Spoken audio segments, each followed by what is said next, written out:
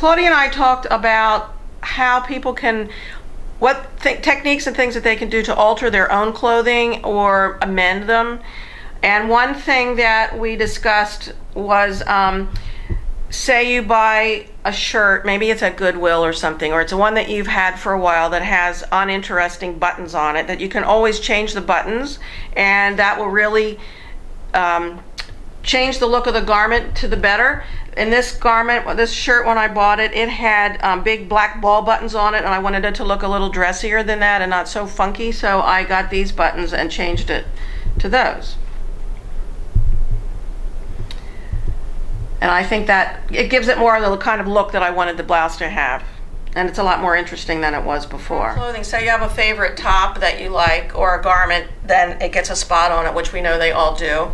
This is a top that I had that got a spot on it, and so I bought some lace and cut out the motifs and uh, laid them on in a pleasing way and added the buttons just to, I thought it needed a little bit more, and so this is what it turned out out like and now I can wear the top again and I couldn't do that before because of the spot so.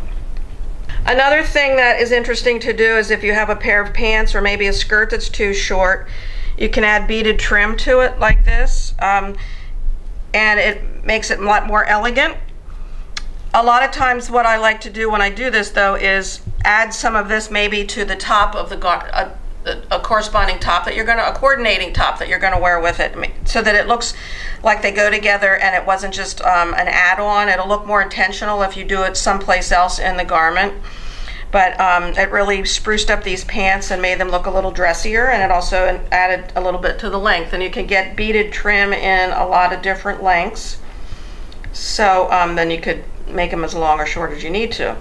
So an alternative to what I did in the front of this um, top, you could also do, say, you could put this lace here like this. You could add beads to it to spruce it up a little bit. I'm just laying these on here just so you can get an idea of what, you know, you might want to do with it. And um, anyway, you can do any kind of design you want. Then also,